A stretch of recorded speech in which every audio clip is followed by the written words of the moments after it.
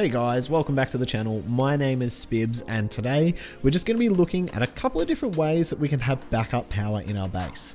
With the introduction of turrets requiring electricity, there's much more need to have backup power for if someone takes out your main power source. So, additionally, with the introduction of generators, there's now a couple of different options for having backup power.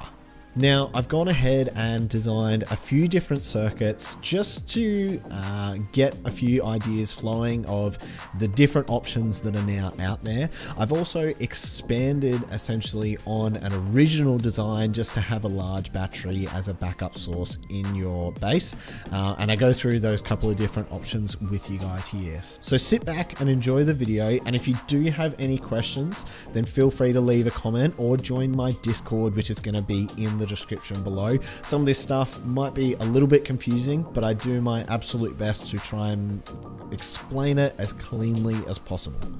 Alrighty guys, so we're just going to go through something a little bit boring to start with, but it's really necessary in understanding how to be able to use these circuits properly. So you'll see that above all these circuits, which we'll get into in a second, is listed something called power draw. Now, this is what I call uh, what the base actually requires. So it doesn't include what's actually within the circuit here. It's just everything after the last OR switch in each circuit. So, for example, we might have nine lights powered in our base. Uh, each light requires two units of power, so the power draw is 18. Right? Everybody uh, and every single base is going to have a different power draw, and this is what you need to understand and be able to calculate uh, to make these backup systems work properly. The reason that I say that is because the electrical branches, either two or three of them, depending on which variation you use, will need to be programmed based off the power draw. So I'll explain that when we look at each circuit, how to calculate uh, what each electrical branch needs to be programmed to. Um, and this is the reason that I haven't included uh, a Rustrician diagram for wiring these up. Um, it's because each individual person will have different power requirements depending on uh, what's in their base. Anyway, we'll look at the individual circuits now, we'll move on. And just quickly before we do move on, now in the video that I uh, did for this particular circuit, we did actually have a power draw of 18. So the really easy way to calculate uh, how much power you're going to need uh, to allocate to each electrical branch is I'll, sh I'll show you just here. So the first electrical branch here is the power draw plus three. Pretty simple. And then the second electrical electrical branch, sorry, is the power draw plus one.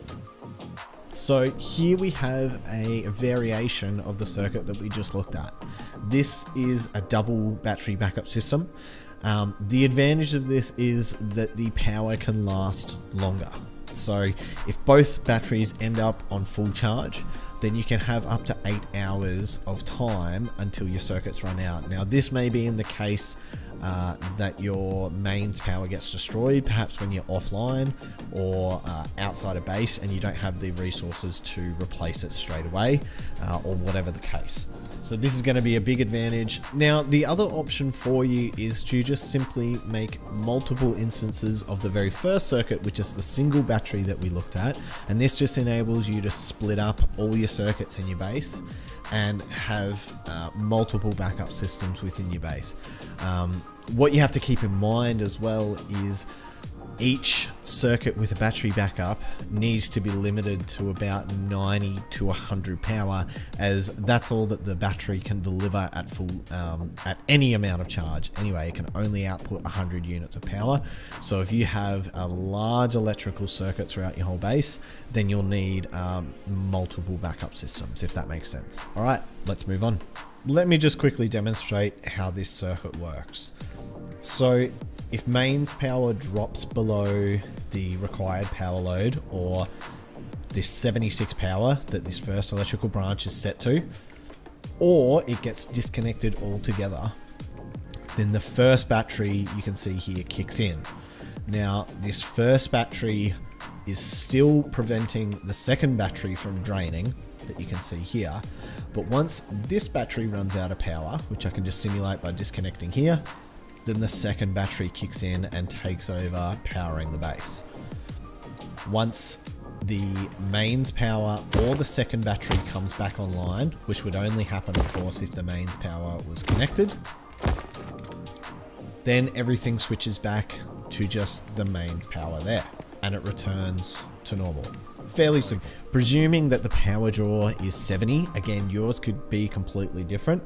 We'll have a look at the electrical branches. So this top one here, coming out of the OR switch, is the power draw plus one, which make it 71 in this case.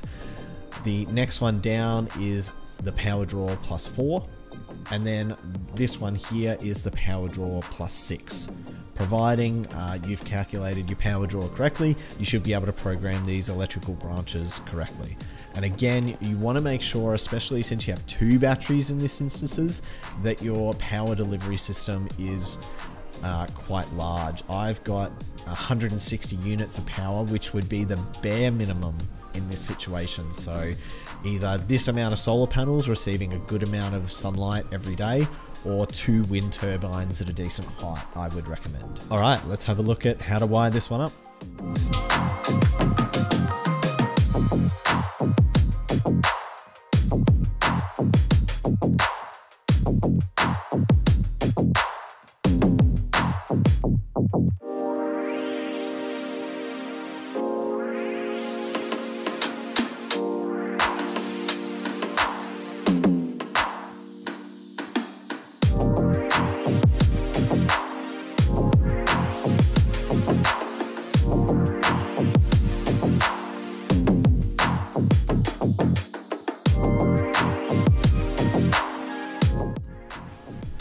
So it's a fairly easy circuit to wire up, but a little tricky to understand for beginners.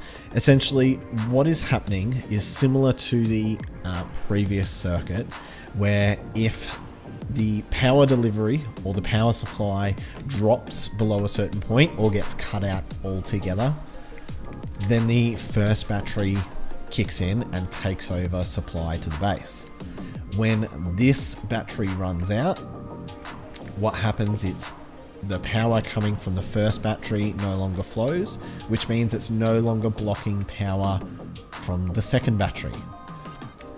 So of course the second battery will take over supply to the base and everything will be able to come back online if the mains power is reconnected, including the charging of the batteries. Alright, so this is going to be another backup system that we're just having a look at. Um, this might be good for solos or smaller groups uh, that have trouble finding the large battery. Uh, in some instances, it can be hard to come across, um, and in other instances, it can be better to recycle because high qual can be a greater need in some cases. However, this is just using the fuel generator. Now, I'm using a small battery uh, connected to the force start here to actually kick it in. And I wanted to explain my reasoning for that um, is because unlike the, the batteries, um, when they're connected to a blocker or a circuit of any type, when power is cut out altogether, say the solar panels are on my roof and my roof gets rocketed and they get destroyed, so no power is flowing whatsoever, I don't have a way to then start the generator. Whereas the large batteries will just start automatically outputting power if they're not being blocked anymore. So hopefully that makes sense. Uh, I'll explain how the circuit works when we wire it up. Um, but essentially, we're going to go with a power draw of 18 again because we're presuming that it's probably in a smaller base. We also don't want to exceed uh, the power usage of the uh, generator, or the power output of the generator, should I say, which is a total of 40 as well. So again, this is a small base situation most likely. You could expand this circuit if you wanted to by adding more generators and using root combiners, but that's completely up to you. It's probably not the most practical solution if you have a larger need for power anyway. However, we'll just look at this electrical branch. So this is power draw plus one, similar to the first circuit. This one is power draw plus three, which is similar to the last circuit. And this electrical branch is just set to default here. All right, let's look at how to wire this one up.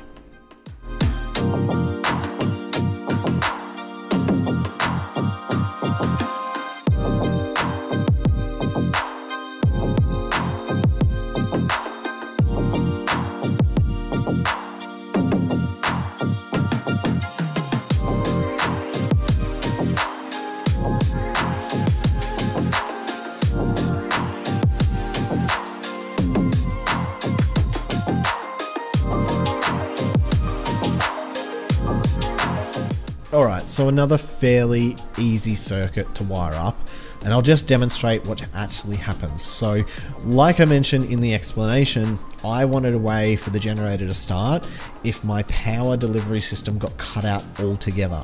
Now, it will of course work when power fluctuates, so if you're using solar power when the sun goes down, or even if you're using wind power and the wind dies down a little. If it drops below uh, what is set into this first electrical branch, which is 21, then the generator is able to kick in. So I'll simulate this one getting cut out. So my power delivery is now no longer in effect. The generator kicks in. Because it's no longer being stopped by this electrical branch here, and the battery is able to start it.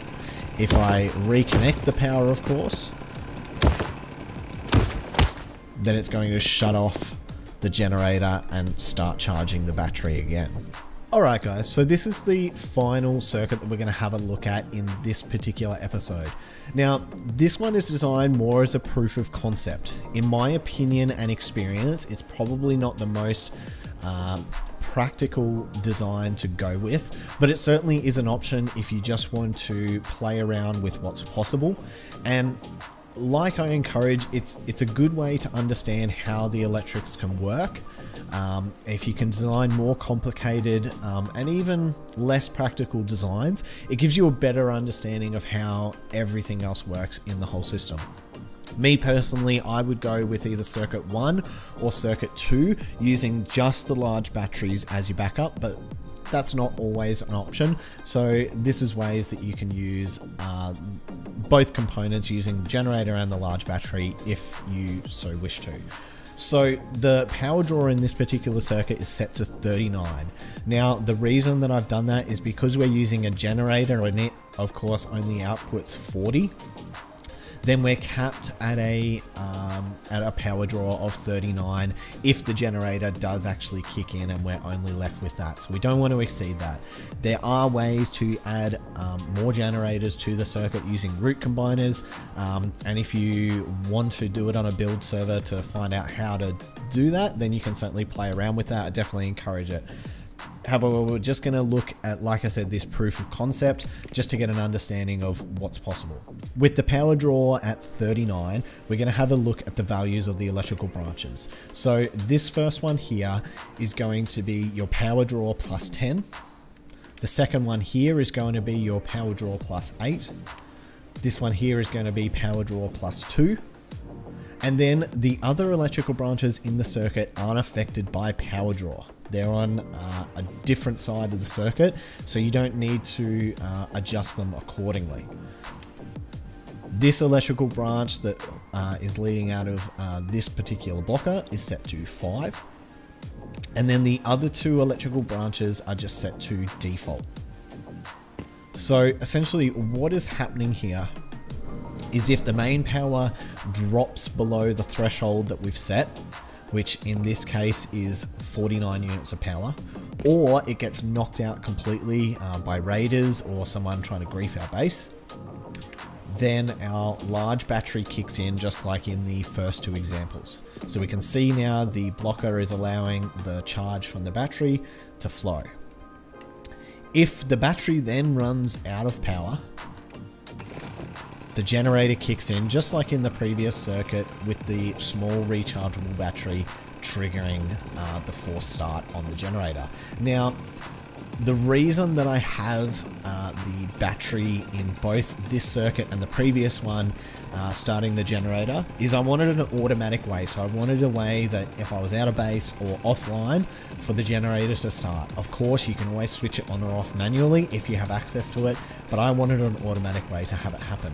Now, if you were able to repair mains power, and get it back online or it came above that threshold again, say the sun came back up or the wind picked back up if you're using wind turbine, then the generator automatically switches off.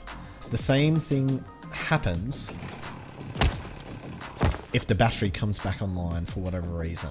So now we're going to have a look at how to wire this up. And at this point of filming with the battery at full charge and the generator with a full stack of low grade in it, then you should have about five hours of uh, backup power here, at least at that 39 power draw mark. Now, like I said, it's much better to use batteries because it has a higher output and they're a little bit more reliable. You also have to use less components as well. But we'll wire this up, and uh, if you have any questions, just hit me up in the comments.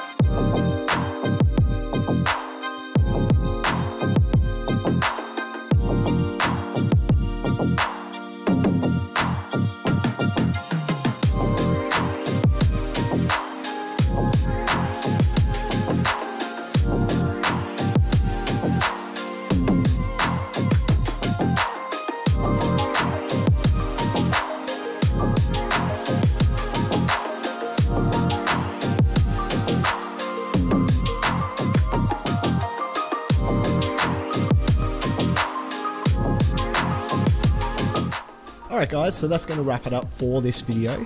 Now hopefully that gives you a few different ideas and options for having backup power in your base.